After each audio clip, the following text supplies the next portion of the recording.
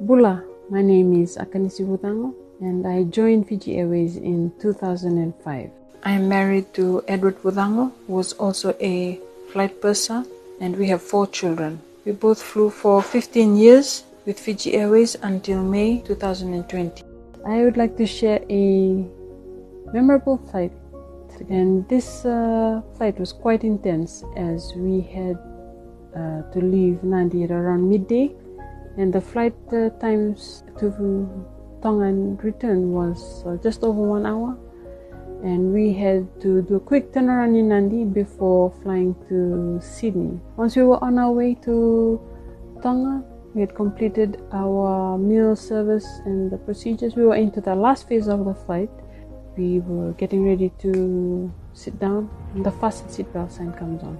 At this moment, the person is making a final announcement. And as I was strapping into my seat, I had a clear view of the center aisle. I saw a uh, passenger, a male passenger in his 30s of Tongan descent, and he was stocky built. I saw him uh, walk in the mid cabin from the left hand side to the right hand side of the aircraft, and I was waiting for him to sit down. And I mentioned this to uh, Purser. I just said that I was gonna go and tend to this passenger to tell him to sit down. As I arrived at mid cabin, I was shocked to see that this passenger was standing over a Tongan middle aged man uh, and he was attempting to give CPR to this man in his seat. Already, the wife of the sick man was already crying, and uh, the sick uh, passenger, his eyes were closed and he was frothing at the mouth, and he was not even responding to uh, the wife's cries. And at the same time, I could hear the undercarriage uh, come out for the landing, and I knew that we had to act faster. I just mentioned to the passengers um, if nobody gets strapped in, we would all be in danger. Time was of the essence, and even more so for this sick man. So we all got strapped in, and as we touched down into Tonga, I just quickly mentioned to our purser the medical emergency that we were now faced with. As she was doing the announcement, I walked into the cabin, with the nearest, uh, looked for the nearest first aid kit, and then I just started yelling out to the passengers. If any medical personnel was there, was able to assist me, uh, if anyone would come forward. And uh, fortunately, the first passenger in economy class was a doctor who had just gotten off his uh, shift in Sydney and he was on his way to Tonga for the Easter long weekend. And we approached the mid cabin and uh, we had to get this uh, sick man into the aisle. He was unconscious he was not responding at all. And this was not an easy feat because this man he was uh, more than 120 kilos. And we had to put him into the narrow aisle and then i had to uh, pull up my skirt and attempt uh, to give cpr to this passenger. And uh, the force of my arms was it could not even penetrate the man's chest how big he was.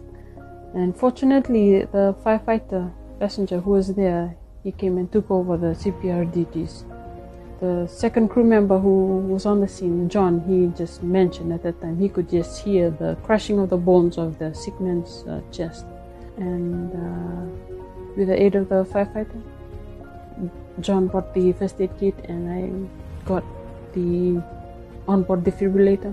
We attached the pads onto the sick man's chest and uh, we were waiting for the machine to prompt us. I remember looking at the scene and thinking that this is not good.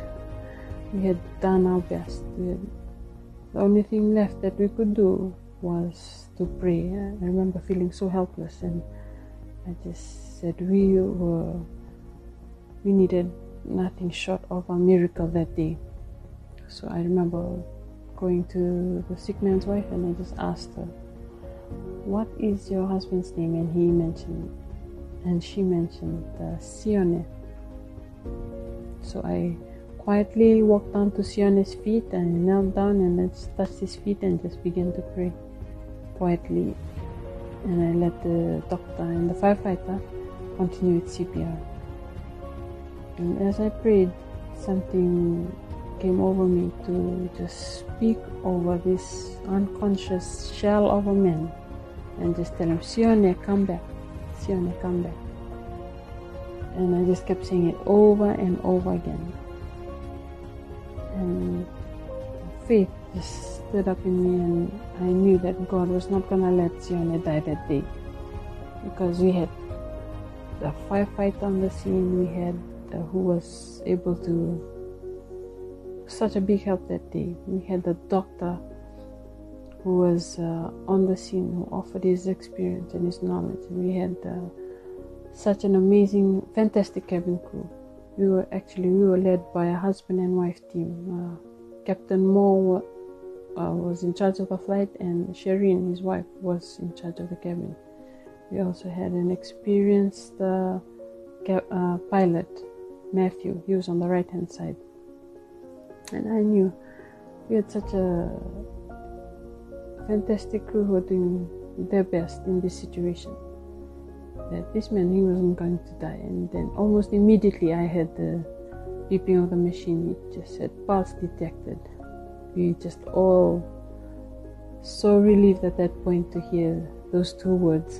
And within minutes, we were able to hand over uh, Sione to the uh, medical team I learned later that day from the pilots that uh, Sione was actually clinically dead for three minutes. That was coming from the doctor. And when I heard that, it was significant to me that this was happening on Easter Saturday. And uh, it was like God was reminding me that He was able to resurrect any dead situations in my life. Nothing was impossible with Him. When I joined Fiji Airways in 2005, I had no idea the wealth of experience that was amongst the cabin crew ranks. Cabin crew had to be spontaneous in resolving issues under tight deadlines. had time limitations, communication challenges in a very challenging environment, increased altitude with factors such as lack of oxygen, made it very challenging. And at the end of the flight, I found out that the, the sick passenger, his name was Sione, the medical doctor who volunteered at the scene, his name was also Sione. And our cabin crew that day arrived uh, at the scene, his name was John, which is uh, English name for Sione. Finally, I'd like to thank all the families and friends at Airways. I'd like to thank you all for a great experience um, working at Airways despite all the challenges. Very grateful for the opportunity that I have. Vinaka.